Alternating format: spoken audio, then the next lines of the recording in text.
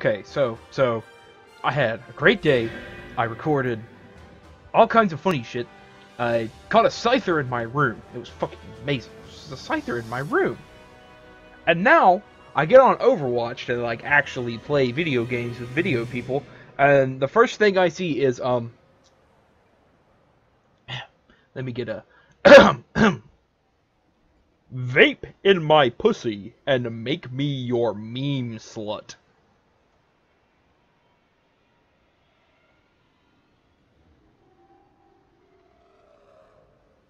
Uh!